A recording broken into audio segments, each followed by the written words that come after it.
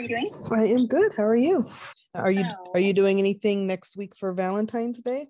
I don't know. I mean, nothing like major planned or anything like that. Might go to dinner, or something. You know, probably not on Valentine's Day because right worst day to go anywhere. It is. It's like New um, Year's Day. It's like the same dinner costs triple for no reason.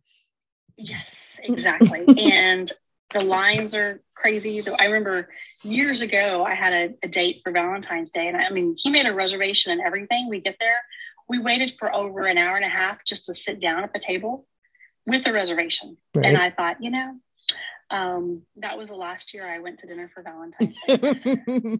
I know. It's like I'll even break down and cook or order something. Anything will happen, but not that. Anything.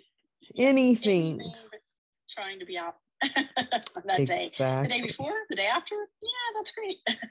so anyway. Even the day before, because now it's on a Monday. So whenever it's on a Monday, like Friday, uh-huh. Saturday, and Sunday are gonna kind of be crazy because people are gonna do the whole weekend of but Sunday, Super Bowl Sunday. So it's very weird that they have Super Bowl mm-hmm. Sunday the day before Valentine's Day because no man's gonna want to miss the Super Bowl. Try that's like the one time if you want to go out, that would be the time to go out because everybody's gonna be watching the game. The Super Bowl, yeah.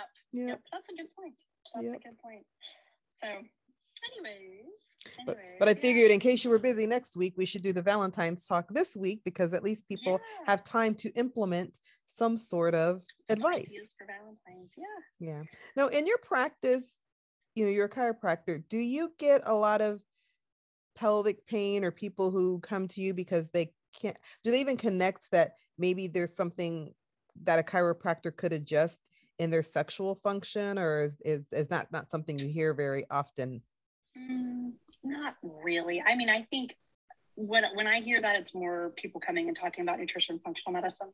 Okay, that's the direction they're going more than chiropractic. Now, um, I always do explain, obviously, the nerve connection, and there if there is nerve interference, that could absolutely affect potentially, you know, those functions. It's not necessarily. Um, it's usually a pretty serious thing if they're having issues with that because of nerve Oh yeah, it's, it's more of a back yeah. problem, like a big, you know, to do. And okay. it could be it could be something really serious because it could be something affecting like the spinal cord or you know beyond just back pain, right? So, um, but no, I don't really have people necessarily. No, not really. Or even like pelvic issues. Like, what if they had like a symphysis pubis, like they had a baby and now their symphysis pubis is in pain and now everything, you know, things hurt. Yes that definitely can be a possibility and you know there is a way to adjust that i usually use my activator for that and um, but yeah that definitely can get a little bit out of alignment because there's a joint there especially people that have had yes. babies but i've actually had people that just from sitting like i had one girl she was sitting um, she was playing on her like a not, not a piano but a uh, keyboard and she had the keyboard sitting on her bed and she had her legs like open like V stretch, right? But she had them, and then she started. She was kind of rotated, and she felt it kind of move, and it it literally got her pubic symphysis a little bit out of alignment enough that she was having all kinds of pain down there. Of course, that was radiating around. Um, so it can happen just from sitting in a funky position for too long that you need an adjustment in that area. Like so. regularly or one time? Because I mean, I could see how a baby, like one of my friends just happened to say, Oh, I can't do certain exercises because it hurts right there. And I'm like, Oh, did you happen to have big babies? And she's like, Oh, yeah, they were both over eight pounds. I'm like, That'll do it. I was like, Because they'll widen that joint and then it will never quite snap back. And then it's cartilage. It's really hard to manage cartilage. And there's not like mm-hmm. a real joint there. Like the orthopedic surgeon's not going to go do a replacement on that, like your hip and your knee, sure, but your symphysis pubis, like nobody really operates there, even not a gynecologist. Like we don't do right, bones. Right. And the orthopedic surgeon is like, eh, you know, no. So I'm like, you kind of are, you know, and then pelvic floor therapy hurts. And so I was just like, yeah, I didn't know if you had something to offer that maybe other people didn't, because they do have pelvic floor therapy for it. And she wasn't impressed with that. I was just like, huh. I was like, that, that's an interesting thing because when I'm treating people, you know, we're supposed to be talking about oils and romance and uh, whatever. But when I, when people come to see me for decreased libido, and that's a lot of people because menopause, that's a, it's an epidemic during menopause that your sex drive has gotten away from you. But the first thing I ask them is, is it uncomfortable? I can give you the best sex drive in the world, but if it really, really hurts, that's just not going to do, you know, I have to stop right.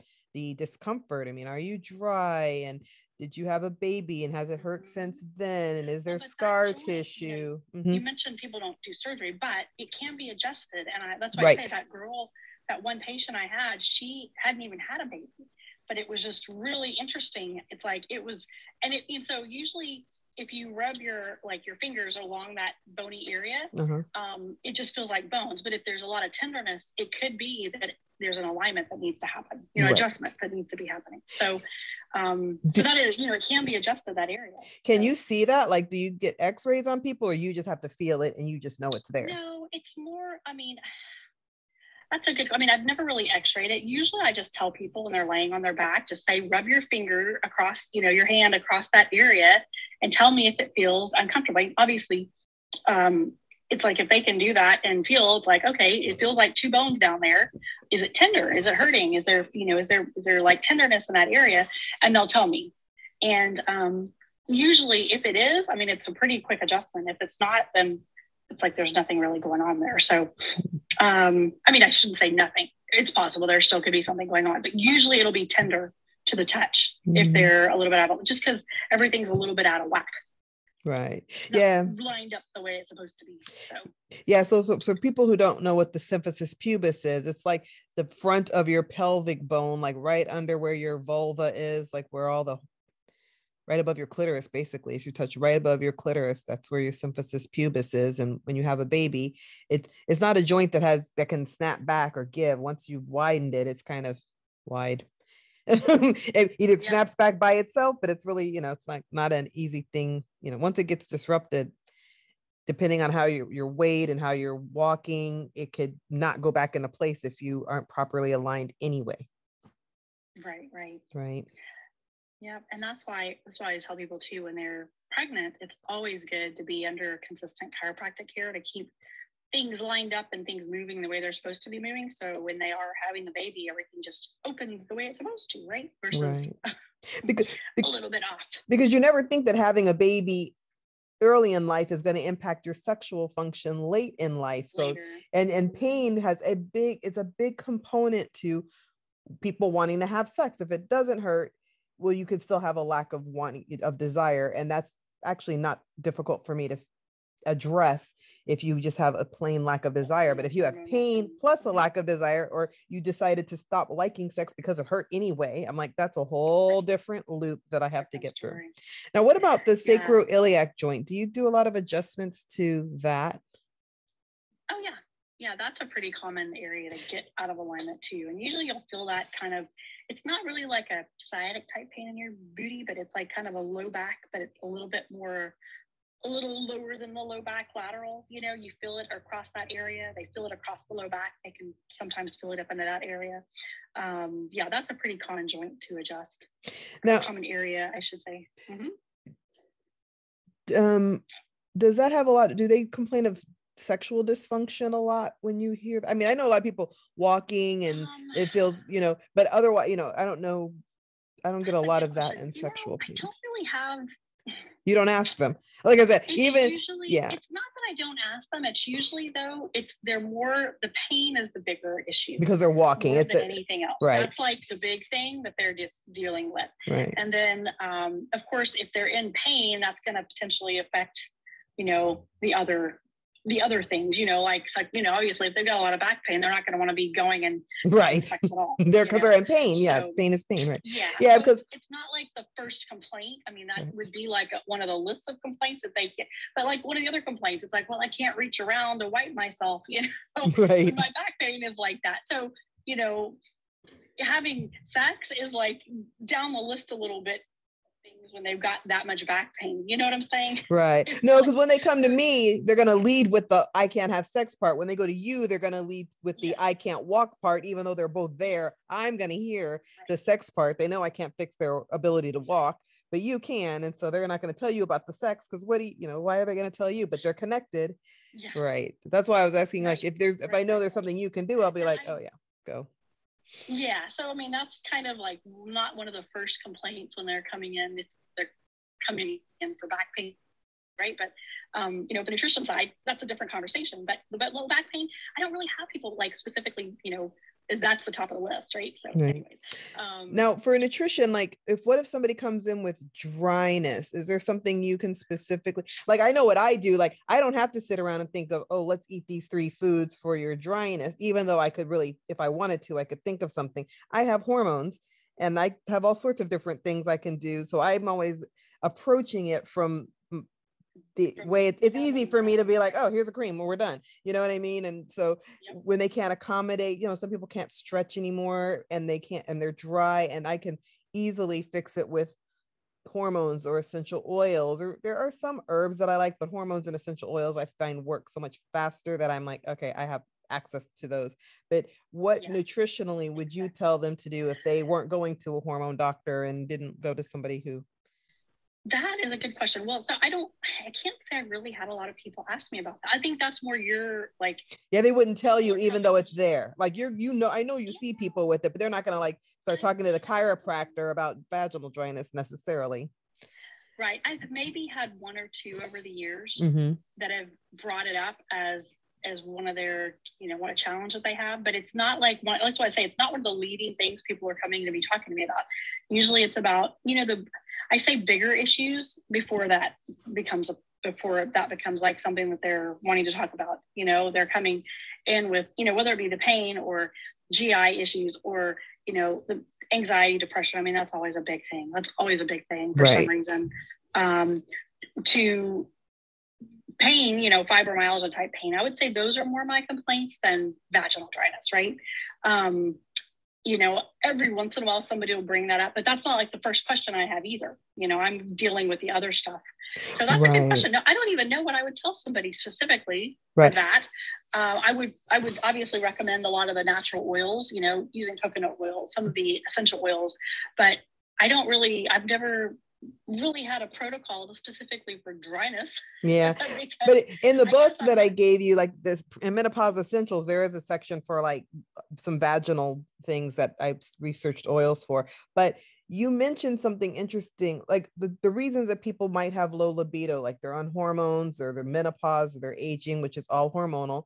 You said stress and depression, but also trauma. And so, since you do hypnosis, have you Yes. ever hypnotized anybody who's like, that's a part of their syndrome? Because that's a big thing. wouldn't be usually it's more related to pain. It's not the dryness is not really coming up in in the hypnosis as much as pain. or but even There's sexual stuff what if they do they say Mhm. like i you know sex is my it's never their leading thing of course they're going to come to you for pain or nutrition but you know is that have they Yeah, ever said you've hypnotized me and now i can have sex again or would you ever if somebody just had that complaint like please hypnotize me because i have some issue with sex that's emotional Usually it's it's a little bit down the line, right? Right. So it's they've gotten to know me and they're comfortable and then they're opening up. That's so it's a little bit down the line. So that's Right. not like the first thing lead in. But yeah, I've had people that have been I had one girl that was gang raped Mhm. and um, she always had issues. Her libido was like she had literally no libido, didn't want to be with her husband even, and it wasn't. It didn't have anything to do with him. It's just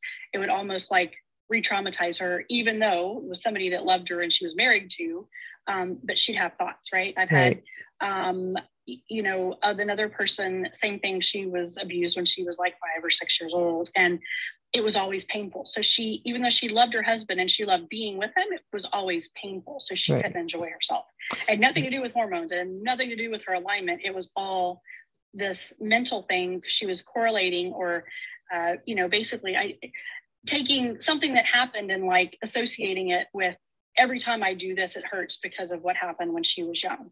And Yeah. so, yeah, that, that happens absolutely. But again, it's not, it's not like people come in and say, oh, this is the first thing that they want to talk about when they come in, right? It's not for you but for me it is and Yes. for me even Yeah. sometimes i have to dig because they might say oh you know what i don't like having you know I, I don't i lost my desire for sex and i always have to walk back and say okay at the beginning when you had no kids and sex was new and fun how were you? They're like okay it was, i was never really there. And i'm like okay that's when i have to start.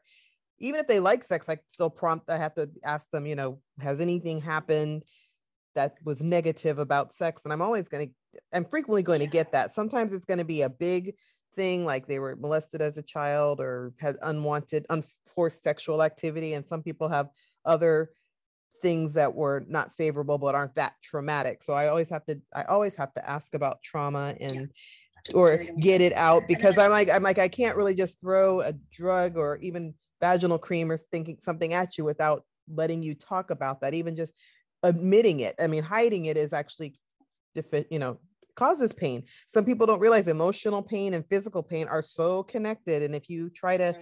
help me fix your physical pain without telling me the trauma it's just not going to be i'm not addressing the root cause because you don't tell me you don't even recognize it as a root cause or it's a connection. Right. Yep.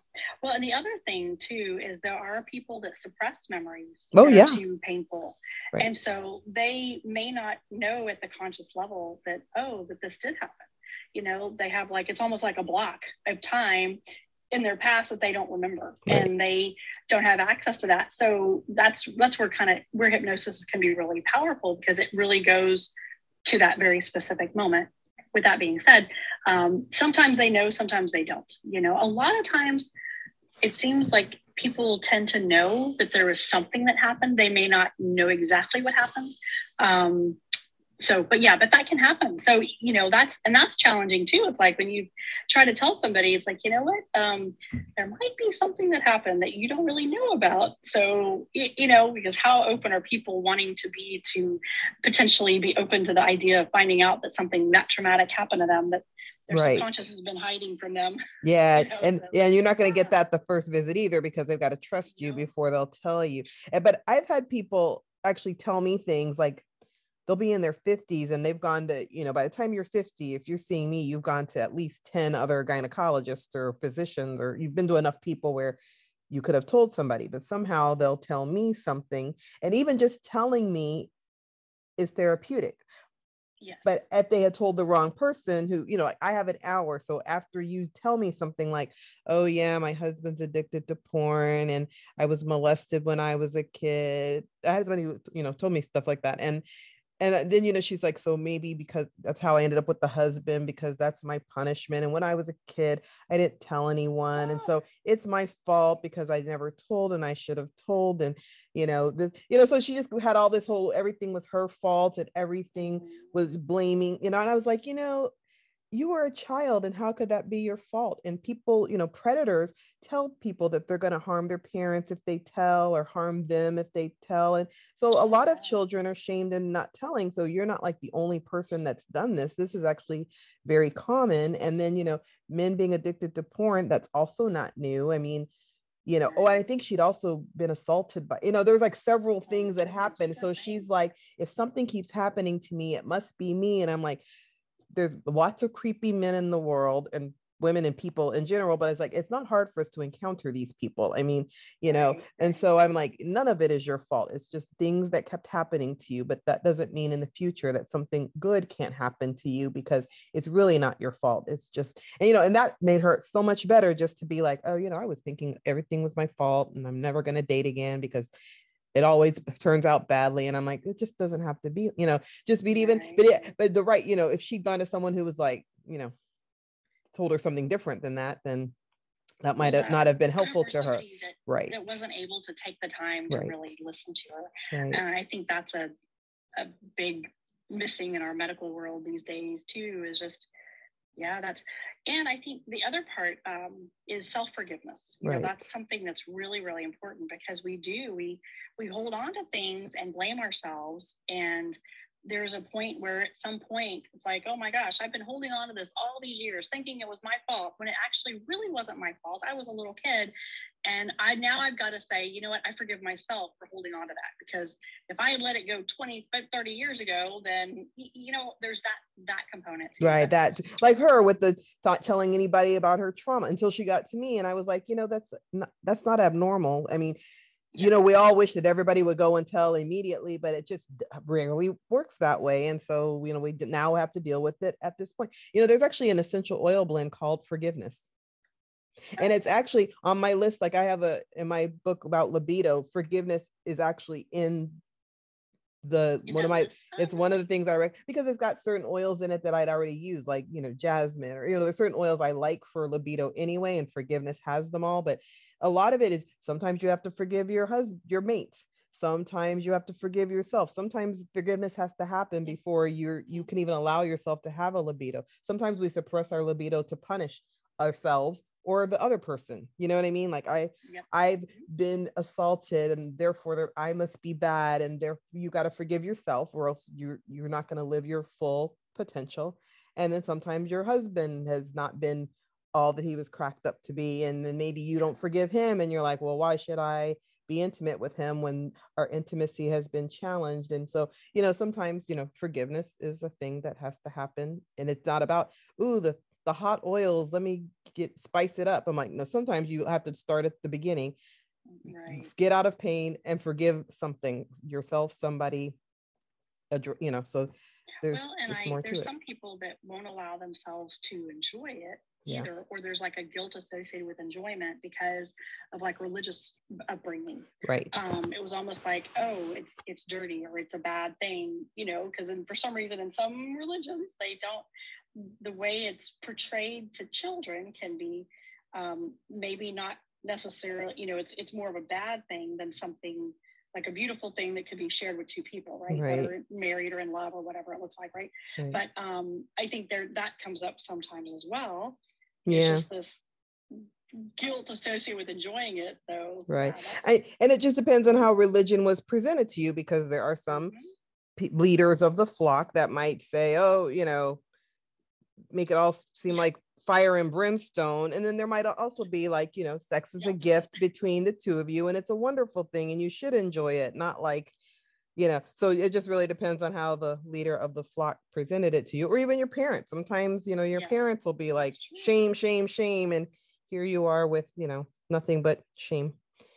Yeah and yeah so it's a really interesting you know thing to think about you know all the different components of what could possibly be challenge you know causing somebody to have pain or not have that desire or um oh, that's interesting.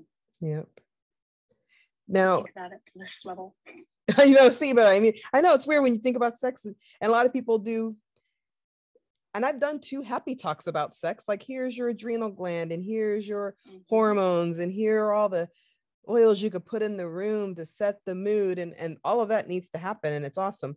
But but a lot of my job during the day is focused around digging around and like let's start at the beginning. Does it hurt do you have how are your feelings towards intercourse did you ever have a sex drive you know because it's hard to like spice up your sex life if you were always sort of like eh. you know, you know what i mean i've had people who i was like I had this one lady, I remember, I was like, okay, on a scale of one to 10, with 10 being you really like sex, like you're almost an nymphomaniac, and zero meaning like, what is sex? I don't even have a memory of it doing it. You know, I mm-hmm. was like, she goes, she thought about it. She goes, can I use negative numbers? Oh. Right. I was like, okay. it was like, all right, where did we start? Like when we were, you know, usually when we're 18, we're pretty, we're about as good as we're gonna get. I mean, even though we might have a sexual peak at 35, you know, 18 is, you know, you're pretty free. You probably don't have kids. You're finally out of the house. Like now it's fun time. And I was like, so when you were like 18 and you could have sex without a bunch of, you know, rules and stuff, what were you? They're like, mm, a two. I'm like, okay. That's a different work than when I have somebody who used to be an eight and now she's a two. And I'm like, oh, okay, you remember at least we have a memory to go back to. We have a we have a goal, but when I have a two, I'm like, okay, I, I have more digging to do because there's a reason she started out as a two. There's definitely something there for me to right, get into, right. and we have to get through a lot of stuff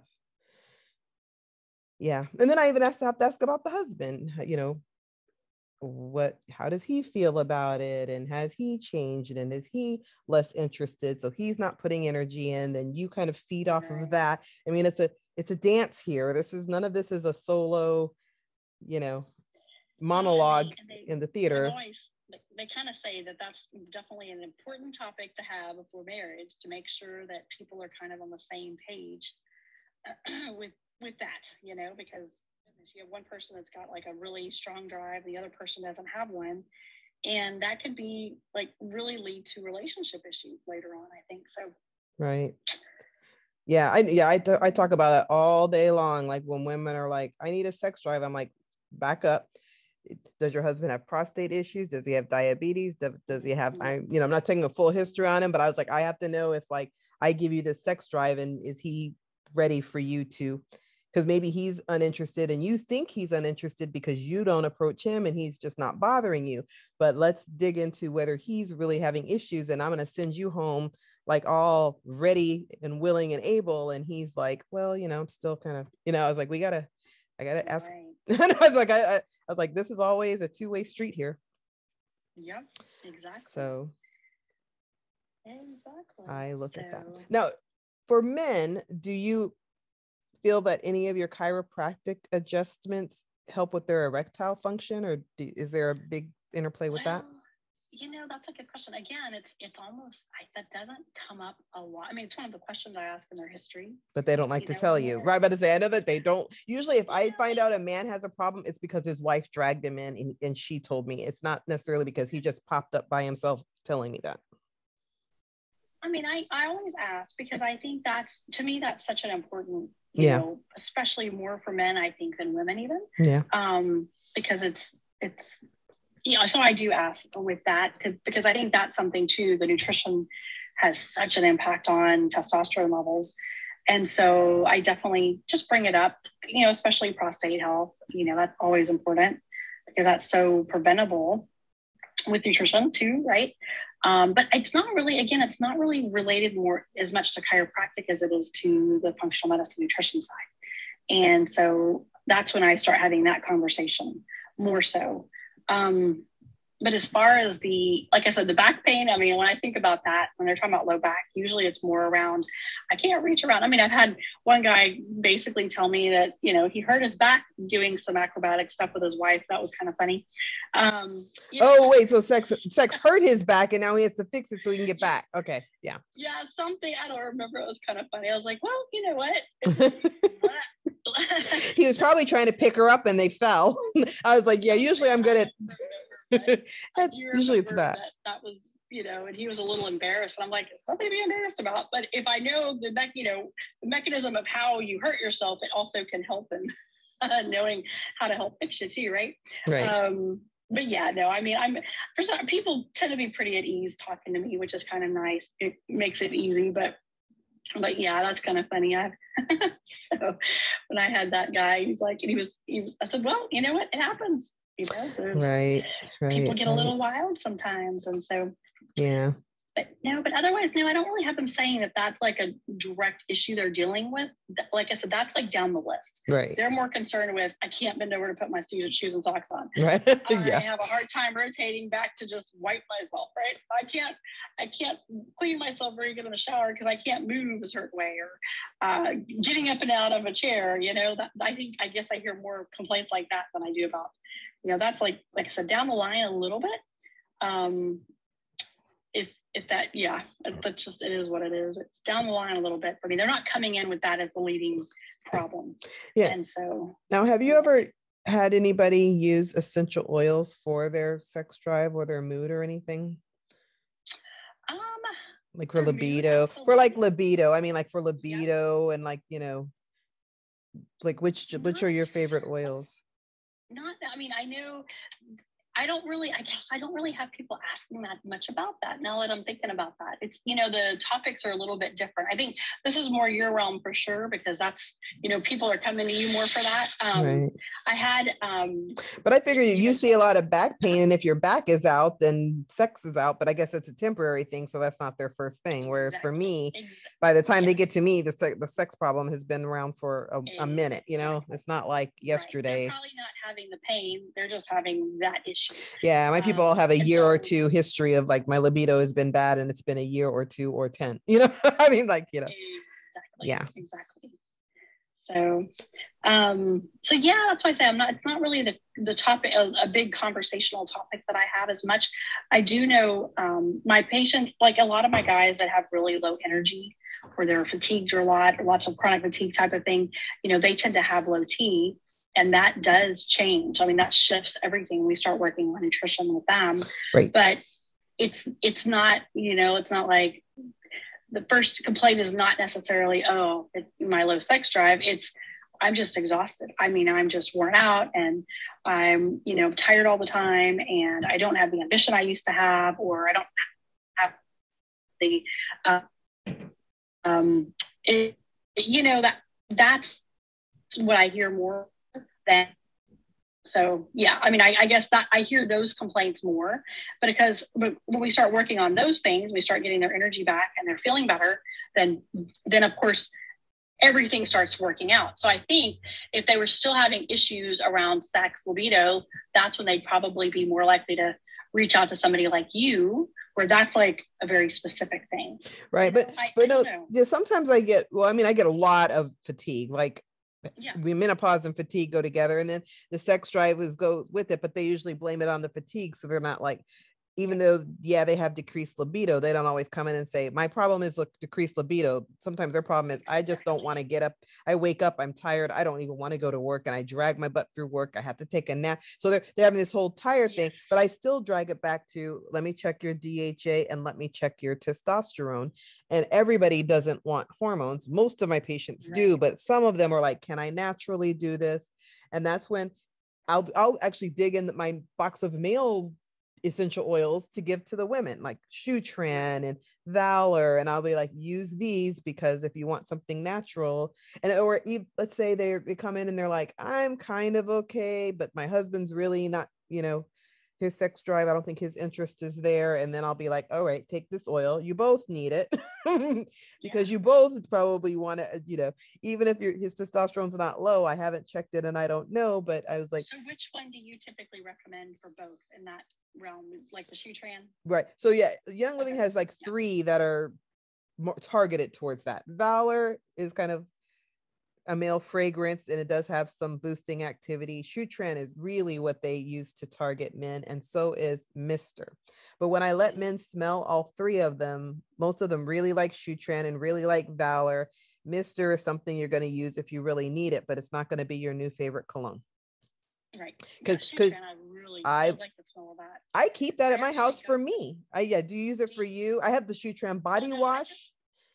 I literally. I, I'm like, yeah good. I really like that one. I do. I actually I wear that one and I have the body wash. I actually really like Shutran. But it could be that my body feels like it needs testosterone too. Women by the time they're 50, they're not working with the same amount that they used to be. Whether it's you want to call it low or not, they still aren't as good as they were at 30 and you know, it's nice to have be surround yourself with things that give you a little extra so can can using the oils mm-hmm. give them enough of a boost? Because it, it, seems like i'm hearing so many women these days that are going and getting like testosterone pellets oh yeah. that would be they would be coming to me to get those. I do that. Now okay i will tell you this about oils and hormones because i know this very well. Mm-hmm. if i give you a hormone i can make i can give you any level that I want. If I want, if your estrogen level is two and I want it to be 300, I can do it with hormones. I can do it with a shot. I can do it with a pellet. I can make a pill. It doesn't matter. I just give you the amount that I want to give you whatever number I want. I can control your hormones. I can turn you into a man. You know what I mean? I can do whatever I want with those hormones.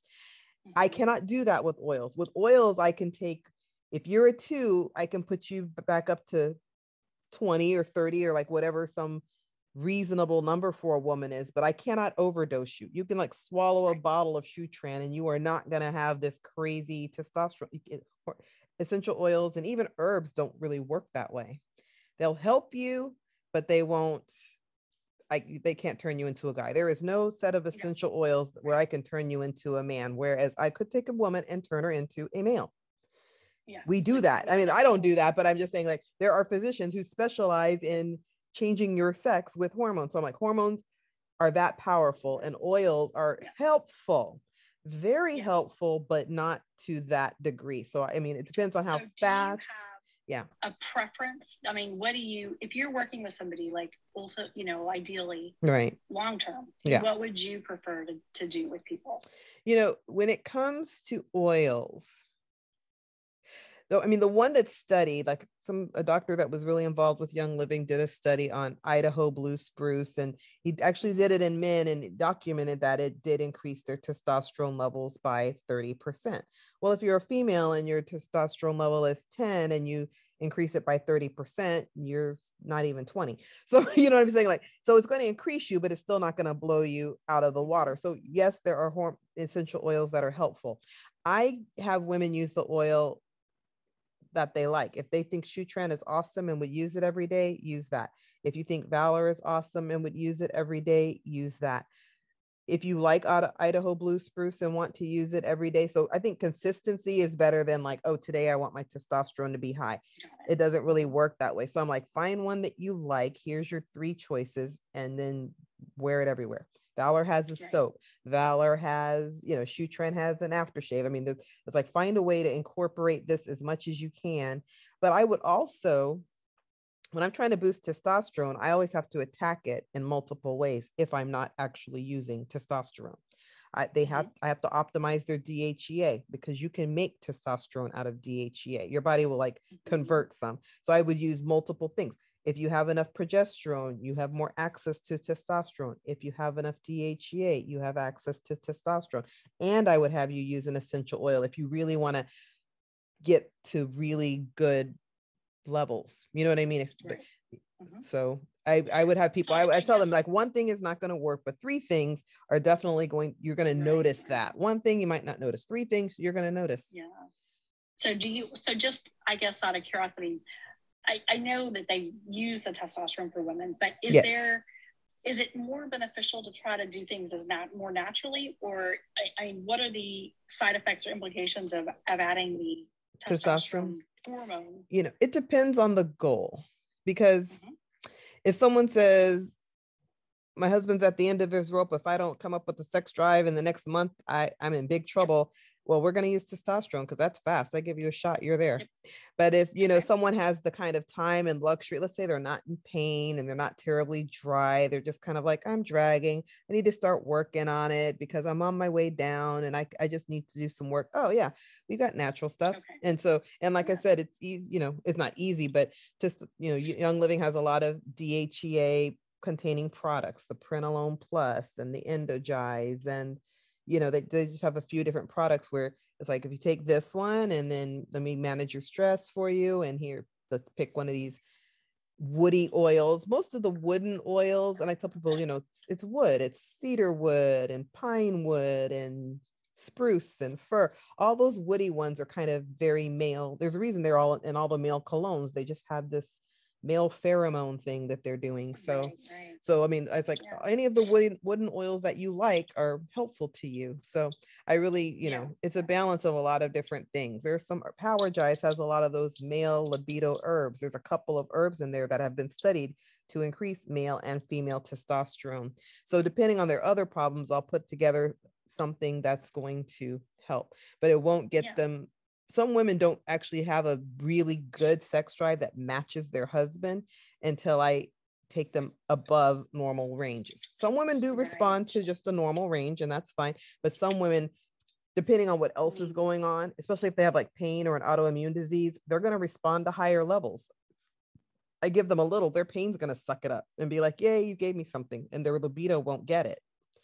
So it's always this whole game I have to play. Like, let's see how much. Like, let me just keep adding testosterone until we get where we're going. So you get what you want. Yeah, that makes sense. Okay. Yeah. No, I was just curious because I, I kind of wonder, you know, how, because I think too, because I know you spend a lot of time with people, mm-hmm. and a lot of these docs, I don't think they do. I think it's no. like, here, take the pellet, take the shot. No, yeah, and they everybody. I think pellets are way overboard. You know, I mean, they're they'll get you a sex drive, but you know, I mean, I think they're a lot and I, like I said, I use them, but I also don't use the same protocol that other doctors are using. I'm trying to like get you exactly where you need to be and not like everybody, let's take 10 times as much as we need. Yeah. Oh, now, and that's going to cover everyone. And I'm like, no, let's get where you need to be without overdoing it and taxing your body. You know, your body likes, doesn't like too little hormones, but it really doesn't always like too much for too long of a time. It's, you know, if you're stress level isn't managed, I have just created a person with a lot of hormones, a lot of different directions, and it's not necessarily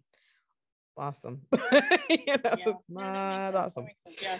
No, I just I wonder too about that, you know, as part of putting together um, that'd be interesting, you know, to put together a little protocol for um, specific for like increasing your sex drive, you know, using specific, you know, and I know you. It's in the book. It's in the book. If you look in the book, but I'm just thinking from a. No, yeah, there's. I definitely have a specific testosterone boosting thing, in the book. And if somebody used enough of the products that I recommended, they would definitely see a noticeable change in their testosterone level.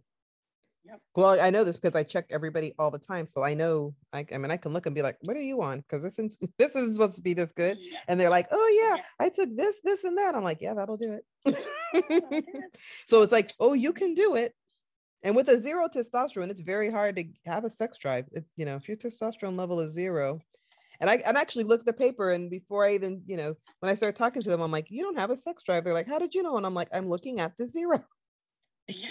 it's really, really hard. You have to have like at least some number sitting here before it's, it's like less than five, it's like undetectable. I'm like, if it's undetectable, you're gonna, you know, have to fake it. And you don't want to do that, right? Right. right. right. Yeah. yeah. So it's like good. So the, the advantage to being a female is that we can fake it, but the disadvantage is, you know, we might want to we need the testosterone for other things besides libido right exactly like no, like too. bravery and assertiveness and you know just something about testosterone just gives you like valor that's why i like valor valor is bravery it's a collection of herbs that warriors used to put on to go into battle you know so i'm like i like valor some people just they say things to me and i'm like valor that's you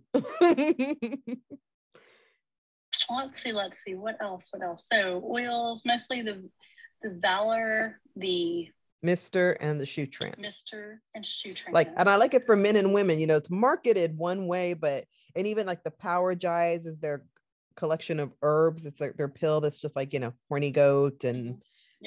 Long jack and different herbs like you know have those suggestive names. But there, it's marketed towards men. But I'll look at a female and be like, yeah, you should take that too. And they're like, what? I'm like, oh yeah.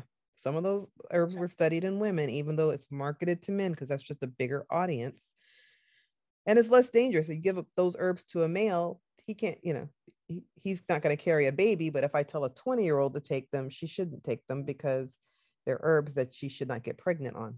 My women are mostly menopausal. That is not our problem. So they can take it. So it's just one of those things that you want to know. But yeah, I really like the male herbs for female libido. Gotcha, gotcha. Yep. Yeah. So, now, do what do you own? Do you own like the sensation? Have you ever used like sensation oil or no, lady sclareol? I I really haven't. I've used them more like just to have in the air to you know for.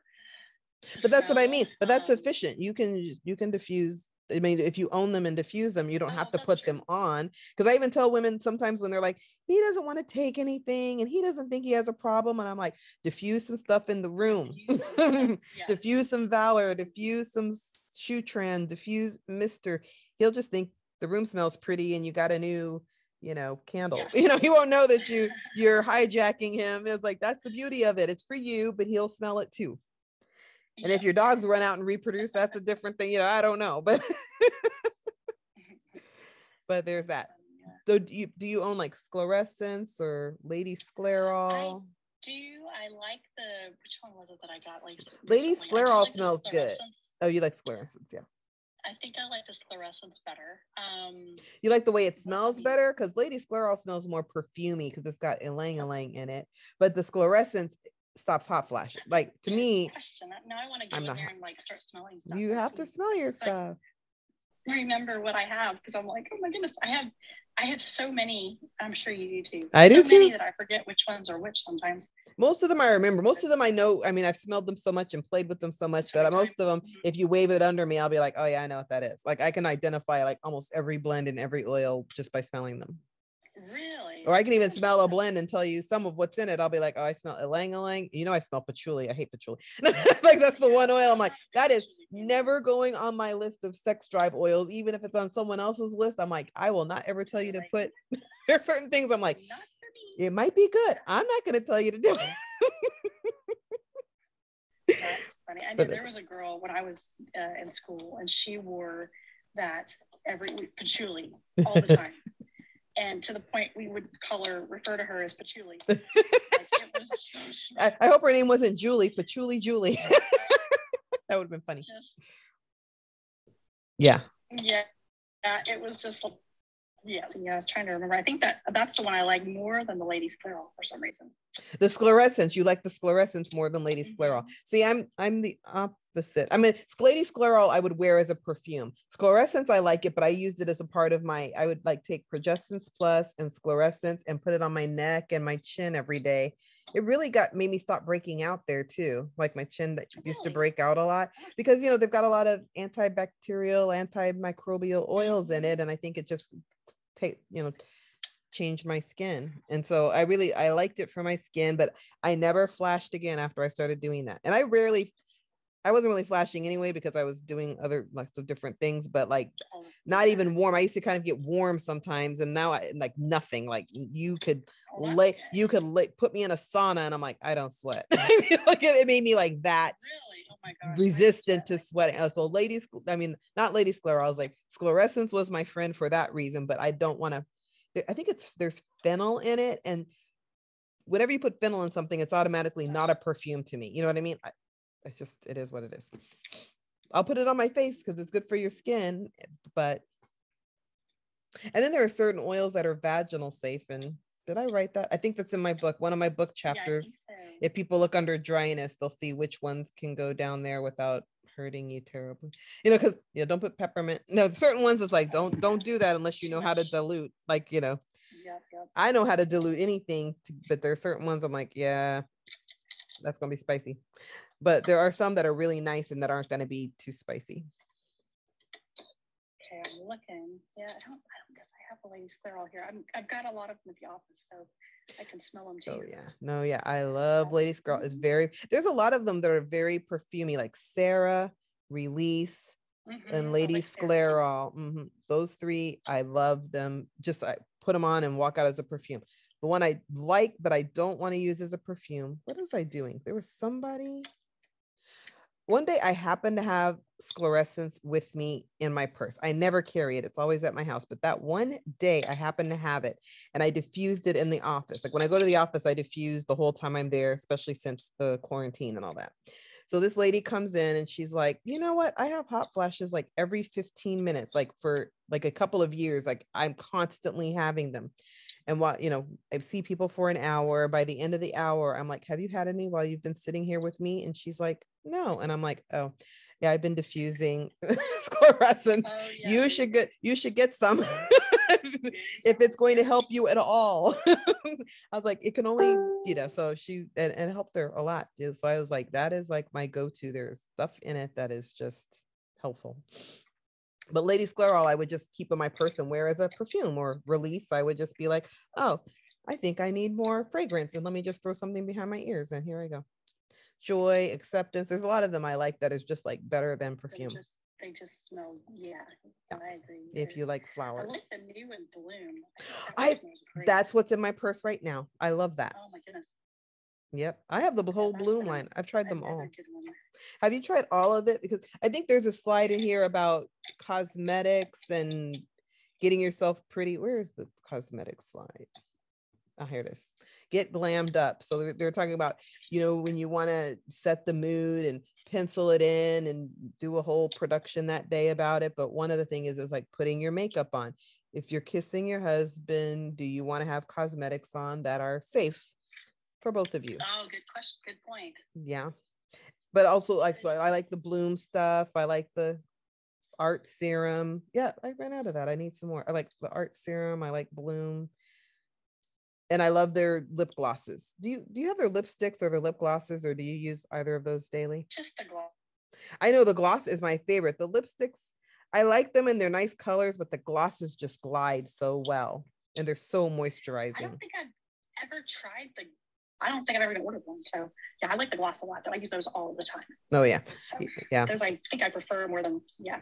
yeah they have i think the cinnamon lipstick is it does glide on pretty well like a lipstick I, so i like that but the glosses are like my favorite i there's never a time since i started ordering those glosses that i don't have at least one or two one in my Yeah. purse one by I- my one one in my room I and i always have a gloss all over.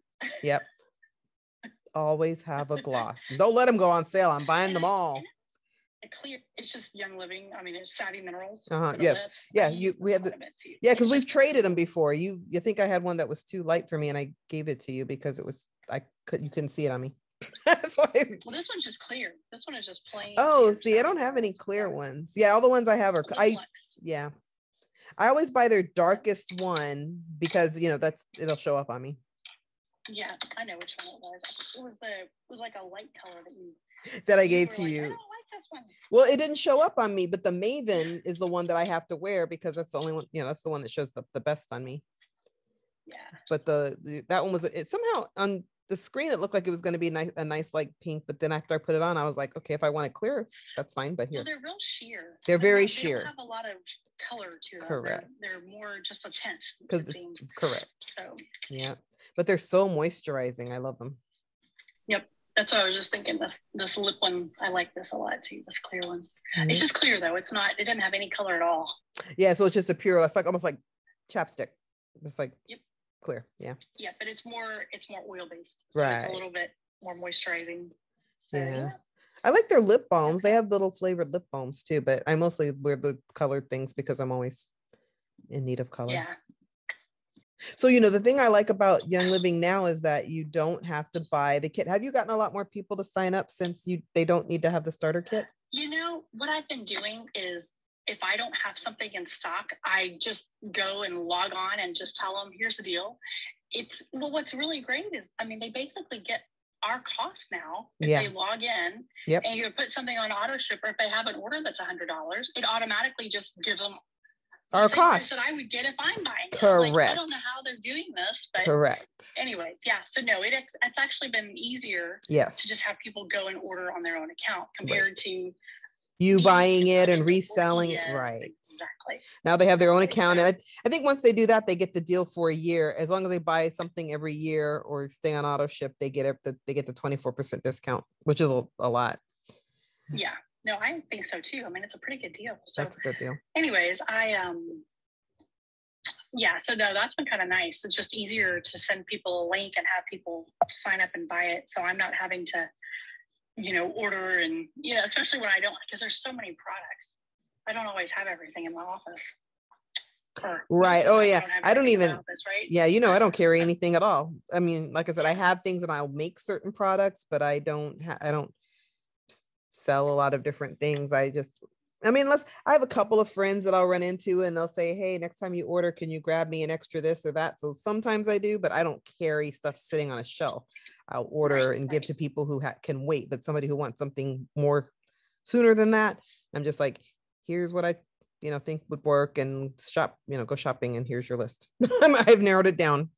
Or, you know, most, a lot of people have my book and I'm like, go flip to this page in the book and then read what I said and, and and it'll narrow it down for you because you know there's 600 products it can be overwhelming so and you know especially even with it like i said when it comes to sex drive there's not like one particular product that's you know but there's a lot of different ways that you could address many of the things that are in your way using these Right, products right. even melatonin i mean they i did a study i mean i read a study on melatonin and sex drive and it's beneficial because if you don't get proper sleep you're too tired the next day to do anything anyway. So something about melatonin and testosterone and libido you know they have a very they're in a favorable loop if you get proper sleep.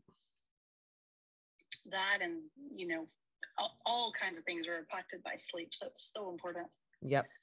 Well, you're fatigued, you know. So if you don't get enough sleep, you're fatigued. And if you're too fatigued, you don't want to do anything, including intercourse, which is very Right. high energy. So it's all down the, you know, I improve your sleep and then you're less tired. And then you're like, okay, I'm open to new experiences here. very true Yep. i know there's something energy getting enough sleep just in general like everything is better when i get enough sleep Okay. So, what sleep about is my one of my priorities what about foods and sex drive? Like oysters, are there any like particular foods you ever tell people to do? Oysters have No, zinc and zinc really increases food, testosterone. but Mhm.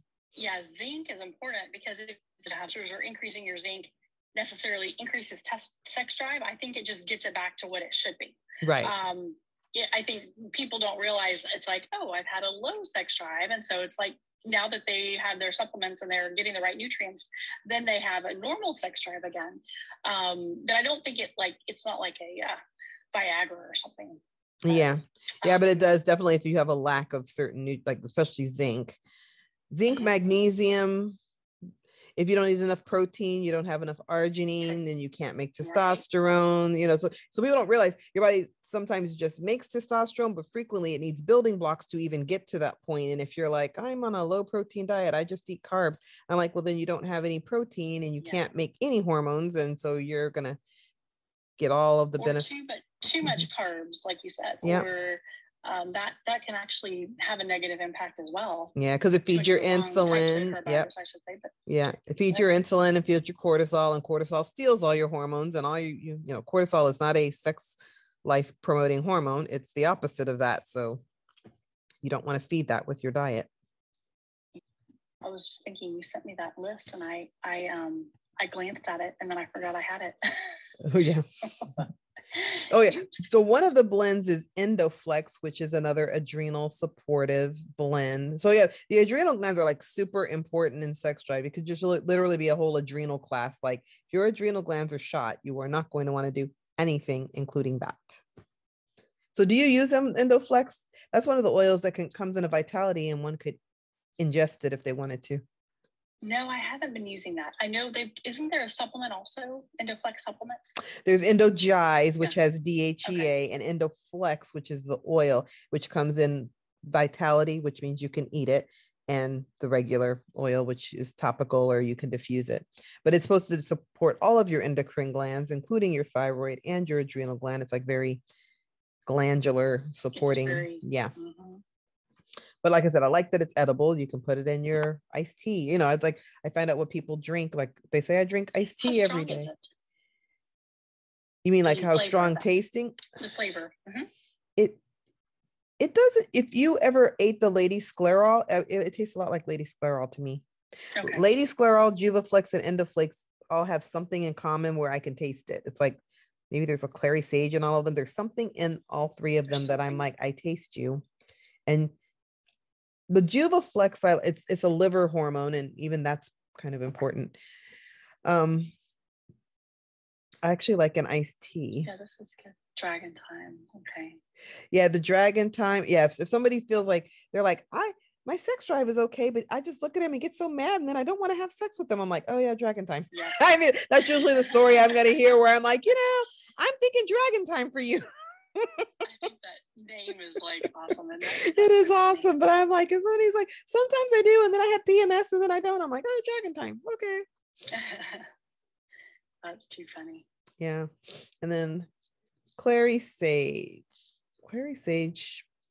I know that uh, what I know about Clary Sage, it's it's an oxytocin producing dr- um, hormone. I mean, a essential oil. So like when people go into labor, like some of the essential oils that can help with oxytocin and labor and that particular hormone is like clary sage and jasmine. So those two mm-hmm. are oxytocin is like it's your hormone that puts you into labor, but it's also your bonding hormone. So whenever people are like, right. you know, so which you said clary sage oh, and jasmine and ja- so jasmine yeah. smells good. So I usually tell people jasmine is first. Jasmine is my first okay. choice because it smells so flowery and yummy. And clary sage is not flowery. It's you know it's more grassy. It's in the it's in the sclerescent. So you know you know by the time you put clary sage and fennel together, it's it's kind of grassy. yeah, it's grassy and licoricey. yeah, I'm not a big licorice. I'm, I'm not know, a big but, fan of licorice. But fennel is a it has that anise. I like even anise I really like. And you know, it's kind of more of like an anise licorice kind of thing. So it's an interesting taste. It's kind of sweet, like you know, something you can use. It, it adds a little sweetness to it. But like I said, it, it, it works so well that I like it and it doesn't taste bad. It's just an interesting, it's an interesting smell and taste that's not quite flowery enough for me. I like flowery things. That it's not gonna be too um much. You know what I mean? If it, it's if it's not it's not going to overpower whatever they're eating. no, drinking. no, no, no, no. It's well balanced. Like you know, the sage okay. and because we use sage in our food and it's not very strong. Clary sage is kind of on the same boat. Fennel you know, it's slightly licoricey, but it's not really too bad. I accidentally put it in guacamole once because the fennel bottle and the lemon bottle look exactly alike, Oh. and I did not separate them. So I just picked it Oh, up and funny. stuck it in guacamole, and I was like, "Well, you can still eat it, but you're not going to do this again." Right, right. because I only use one drop anyway. So I was like, okay, but my even my mother was like, what's going on with the guacamole? And I was like, well, I was wondering if you were gonna notice. Yeah. fennel, but there's fennel. How's your sex drive? No, I'm kidding. That's funny. yeah. I know that's that happens. I'm like, yeah, it's like we're gonna eat this anyways I because know. because I'm not making another one. Actually, I put Yes. carrot seed oil in there once, and I was like, and I'm not gonna do that again. that's funny. Okay, so I have a I think I put something on Instagram about how I tried like 35 different brands of oil. How many different brands of oil have you tried like before oh Young Oh, Living? gosh. Over the years, I you know, I'll have to say, I mean, before I would pick I'd probably pick things up from more of a you know, like Whole Foods Right. type of place. Yep. And I wasn't really, you know, I didn't use a ton of oils. That's the thing that's kind of interesting. I didn't, you know, use a lot of essential oils until I really was introduced to Young Living. And I mean, I was familiar with all the botanical extracts from more of a supplement side, but not necessarily from the the aromatic side, you know, the way, you know, using them in diffusers and that kind of thing. So obviously peppermint, I always use peppermint Right. eucalyptus. I mean, those were pretty standard, but I can't say I, I really tested them the way you did. I didn't go and buy all different brands and just trial them. Um, I kind of went with, um, you know, it's like, it just seemed, you know, Dr. You know, I work with Dr. Ollie some. And so when he introduced me to him, I'm like, well, you know what? I kind of thought, you know, he's obviously done his research. So that's a good thing. So Mhm. that was, and I started using them and I really enjoyed them. So I haven't, I can't say I've compared and contrasted that much. So yeah. Yeah, no, I mean, I wasn't even really initially trying to do that necessarily. Like when I took my class on aromatherapy that I had to take when I got my naturopathic medical degree, you know, it was online. So I had to order these Mhm. this kit online. They told us exactly where to order it from. So there was no thought to it. That was like really, really my first set of essential oils. And I liked them. And I had nothing to compare it to. And I'm like, okay, these are cool. And then I ran out of those. And then I was like, well, let me go to the store. Oh, look, there's these other kinds. And I started picking up one here and one there without really thinking about the brand. I was like, yeah, I have an oil and there's another oil. I don't care. And then and some every once in a while we get an oil and I was like, this one doesn't smell like the other bottle of lavender or the other bottle of frankincense or the other bottle. I was like, some of these smell like gas, you know. So I was so I clearly knew that there were They some that were smell the way like they're supposed to. weird. I was like, some of Yeah. these are like clearly this is not a pure flower because flowers don't smell like gas. So that's hint number one. So I was like, okay, there's a difference in quality. And so, you know, by then I'd collected like 30 something different brands. And then, you know, I started having patients come in that were, you know, builders in Young Living that, you know, were making, you know, they were ranked in Young Living and they were using supplements. Really, I didn't start using Young Living because of the oil so much, but because their supplements had oils in them.